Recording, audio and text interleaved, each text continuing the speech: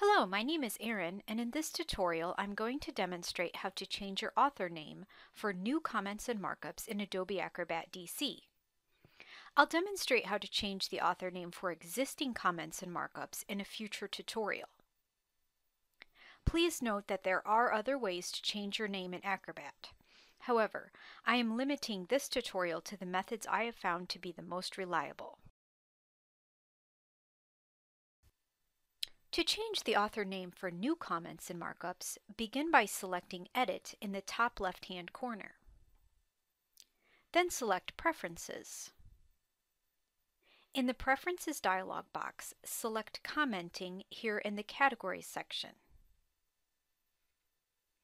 Then, deselect the option that says Always use login name for author name.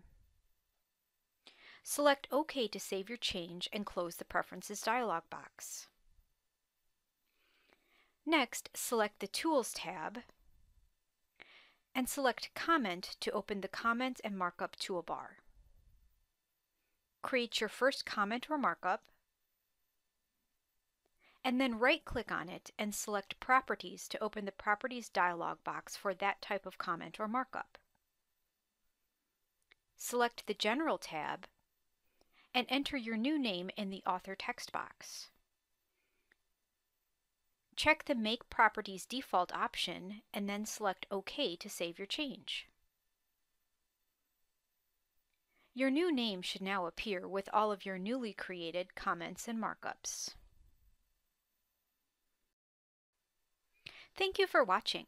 If you would like to see this tutorial in written format, please visit my corresponding blog post linked in the Show More section below. And please come back for my next tutorial, which will explain how to change the author name for existing comments and markups in Adobe Acrobat DC.